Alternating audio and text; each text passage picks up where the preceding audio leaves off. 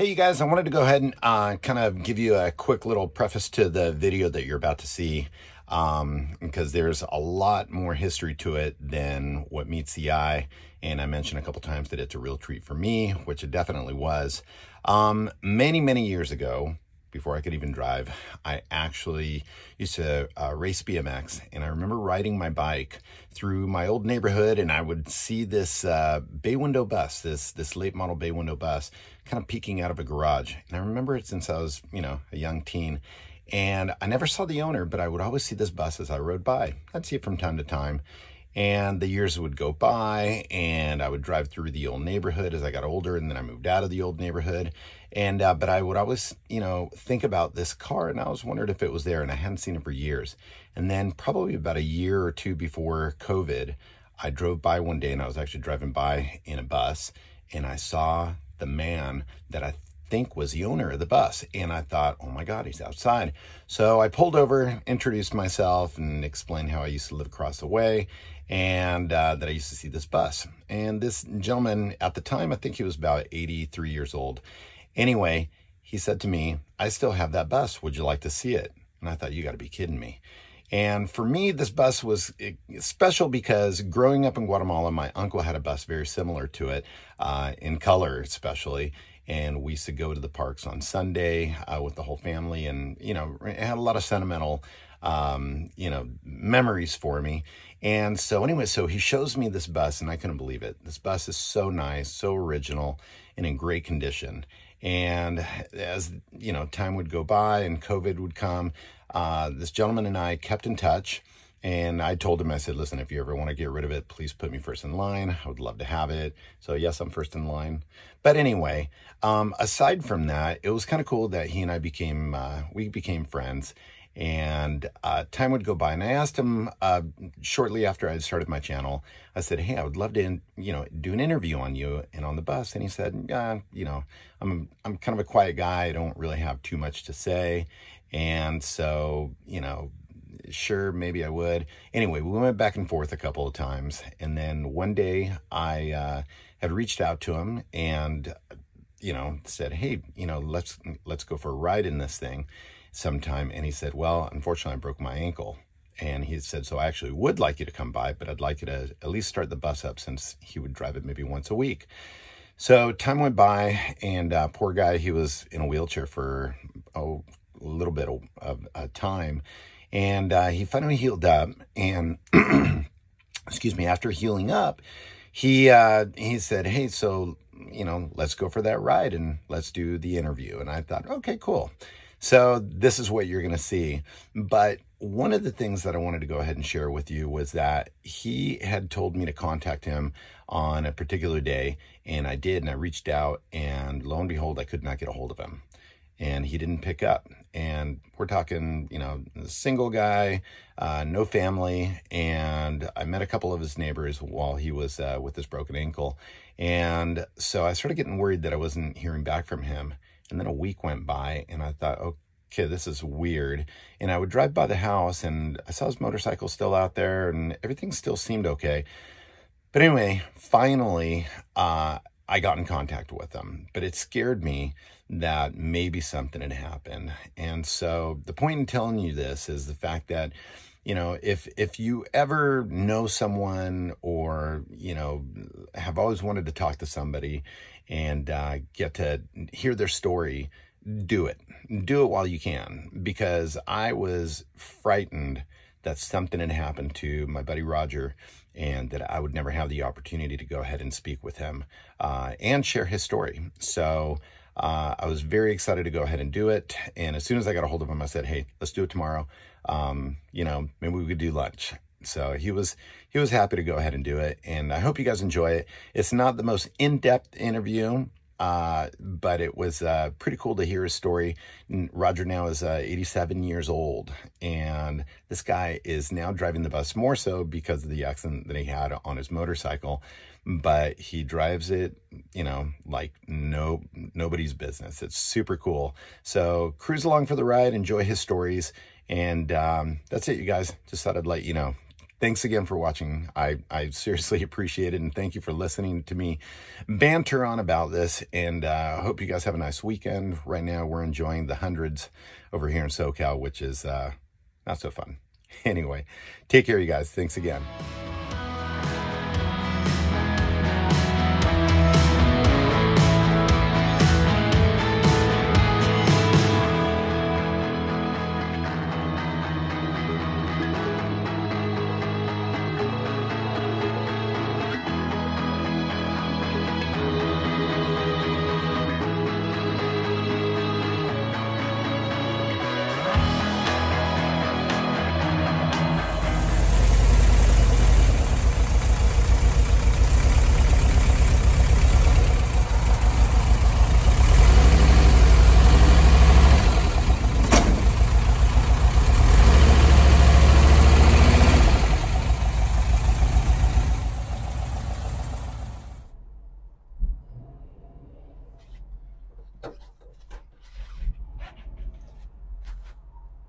Tell you, Roger, this is a treat for me.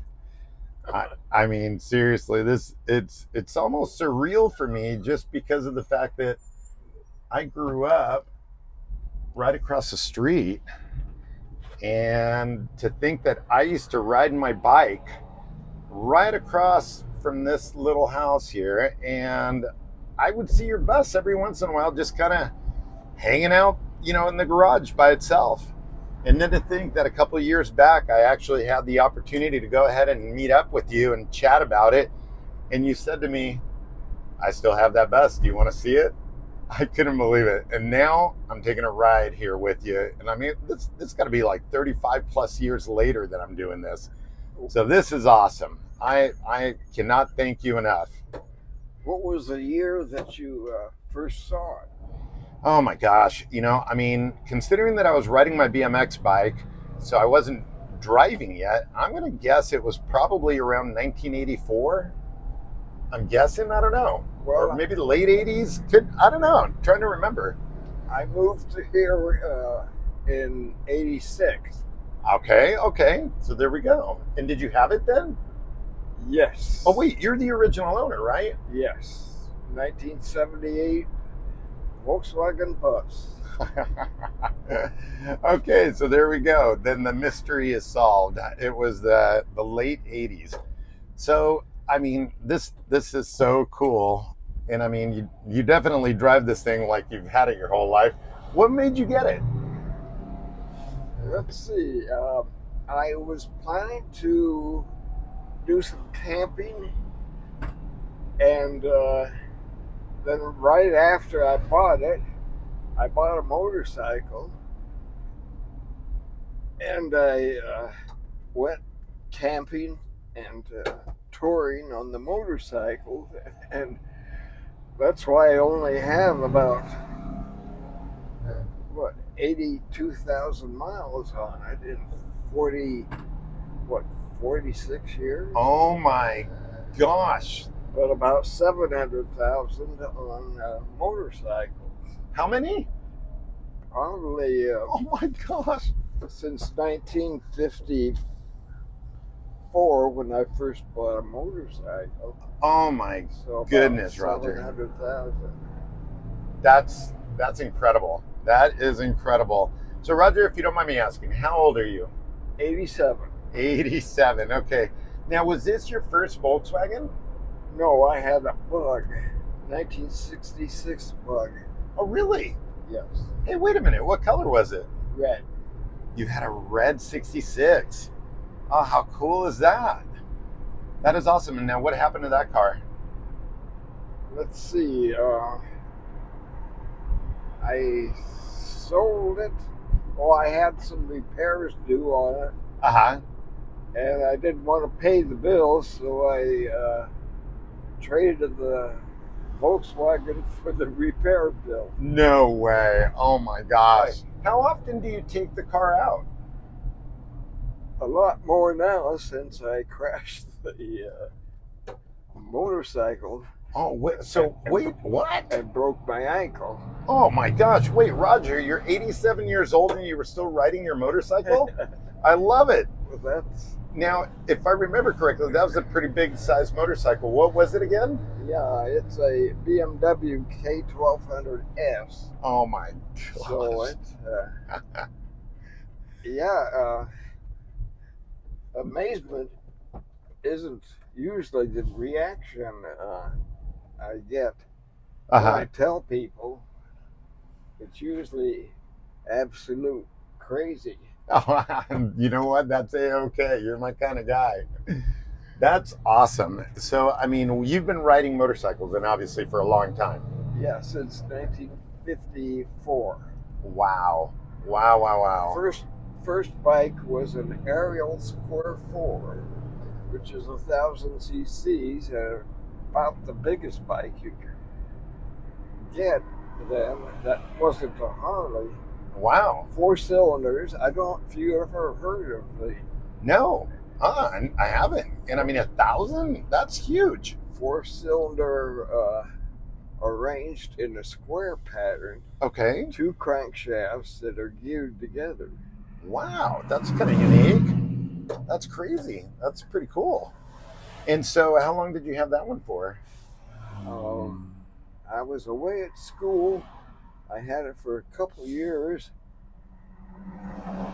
and uh, my parents strongly suggested that it, I ship it down here and they'd sell it for me. Oh my gosh. Wow.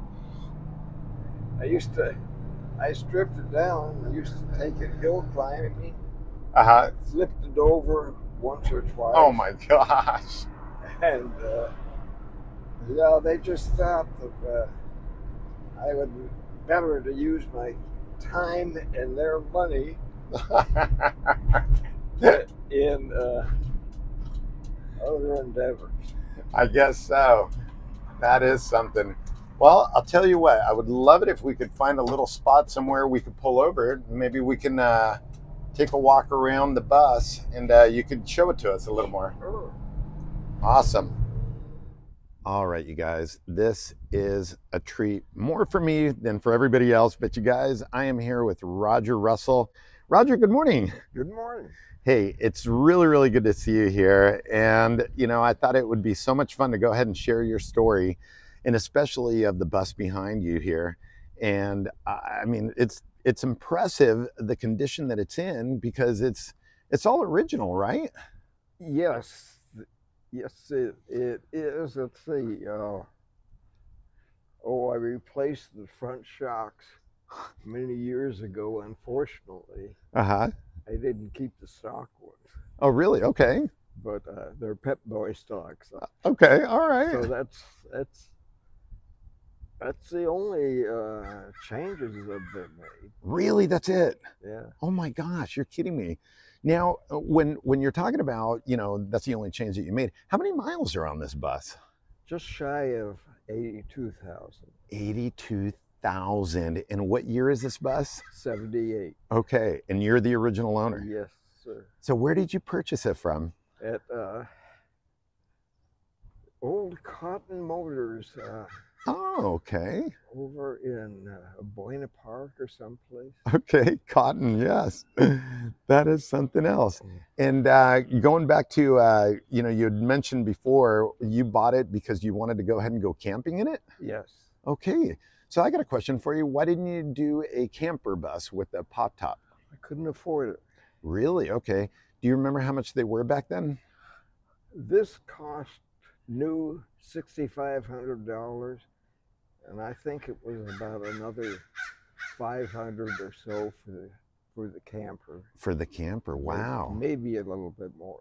Okay. Okay. Wow. All right. And so, uh, did you did you camp in this? No, No? Uh, I never did. I never did.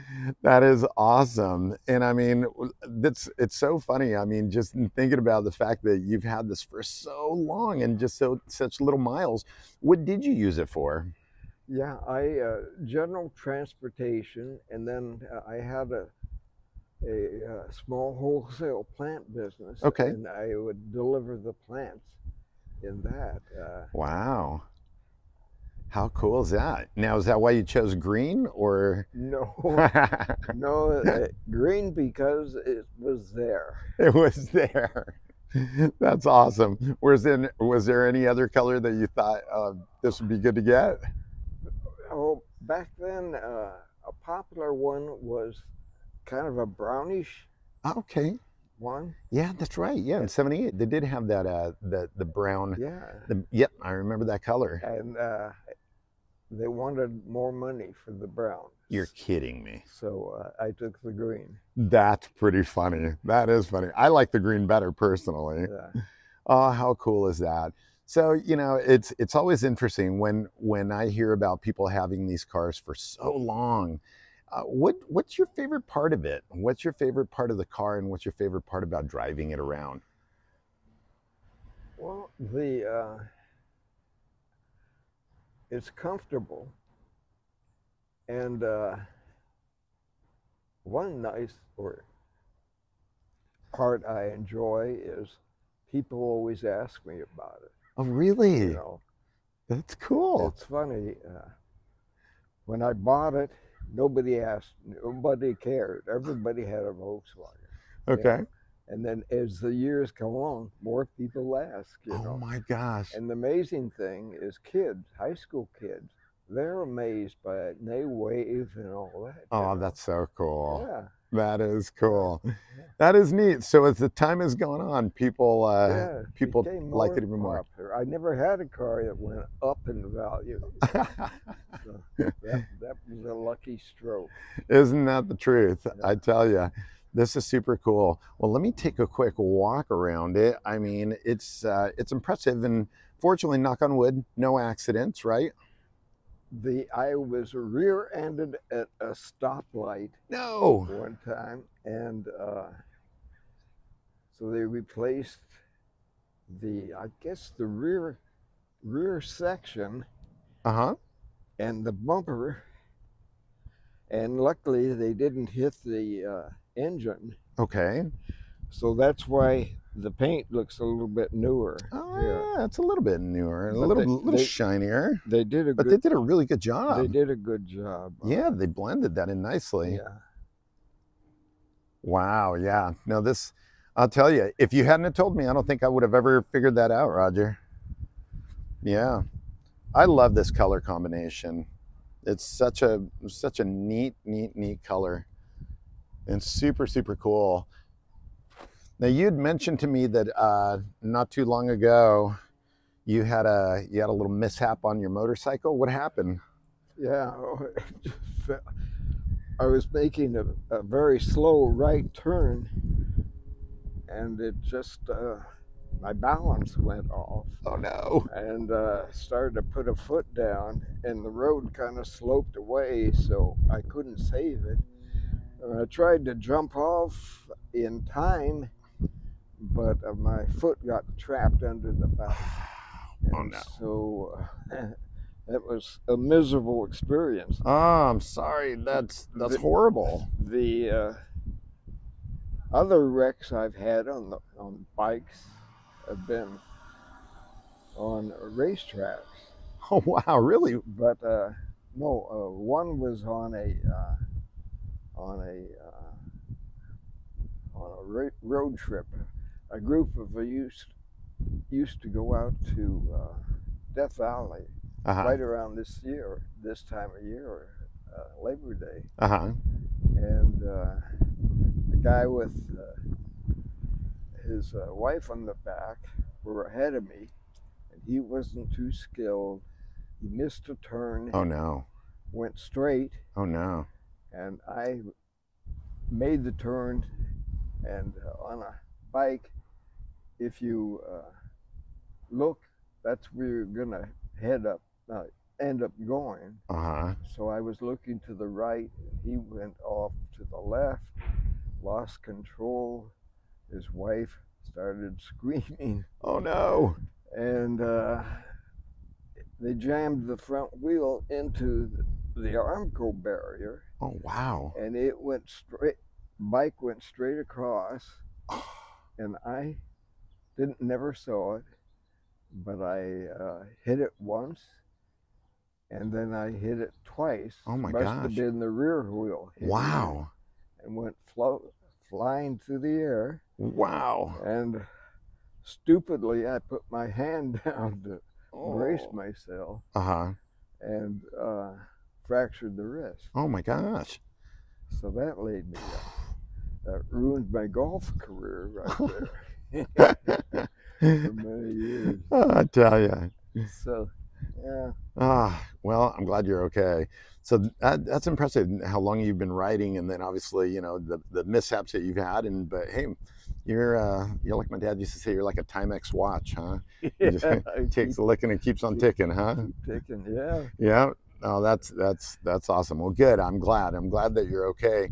And uh, you know, seeing you drive this, it's just so cool watching you drive this bus and just seeing, you know, how it's just so natural. You know, I mean, for for the fact that you've had it for so long, it's it's super super cool. I I dig it.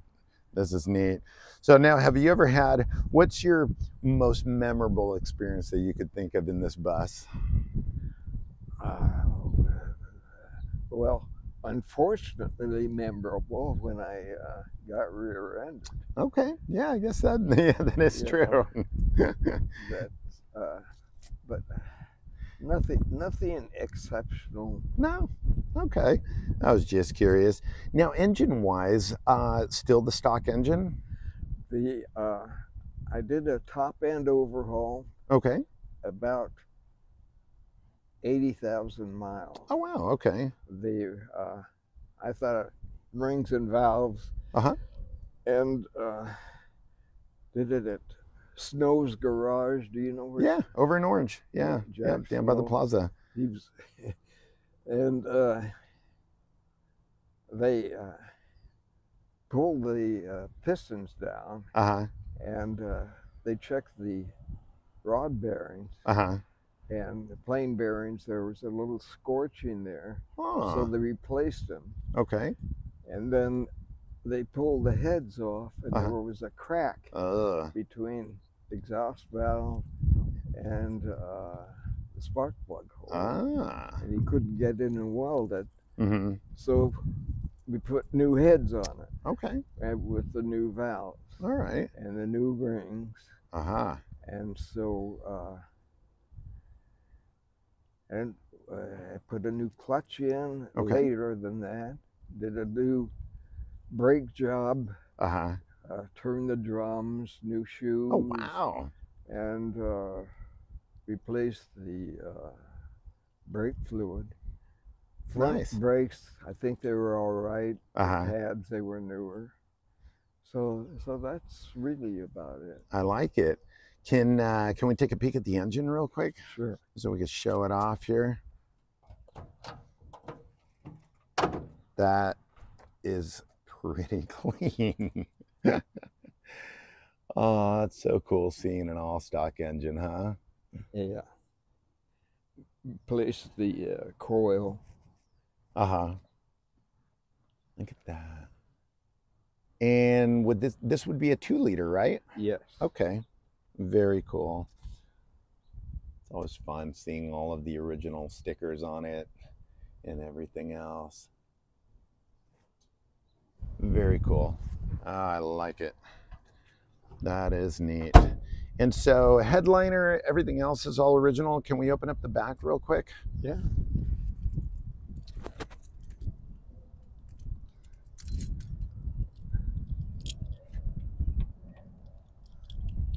I always found it interesting that in the later years, they uh, all the the locks they were black instead of the chrome. Ah, look at this. Ah, okay. So there's the brackets that you were talking about regarding making it a, a fold down, huh? yes. Okay. Actually, it pulled out and up, Okay. so it's even with this. That would be a nice large size bed, huh? Yeah. Look at that. Look at this headliner. Oh my gosh. It's an awesome shape. And you you mentioned uh, to me before the middle seat. You took it out, Yes. and where's that middle seat? in my closet. I love it in your 40, closet. 40 years. Forty years. That is awesome. That is awesome. Very cool. This is great. Oh, this is you awesome. can see the remains of the curtains that deteriorated. Yeah, yeah, yeah. Well, that's pretty neat. Hey, at least if you wanted to go ahead and reproduce them, you could probably at least use that as a sample to go ahead and find uh, find the material and redo them, huh? Yeah. You know, it's incredible for the amount of time that you've had it. Just, I mean, obviously you've taken great care of it, and just how nice and original it still is. I think that's fantastic. So well done, Roger. I love it. All right. Well, I'll tell you what. If uh, if you want to take me for a ride, I'll take you to lunch. All right. All right. Sounds like a deal.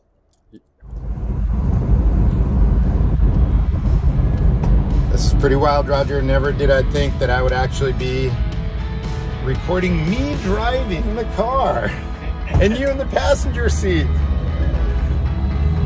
Yeah, this is this is one of these moments that's just a little bit surreal for me. Cool, you guys.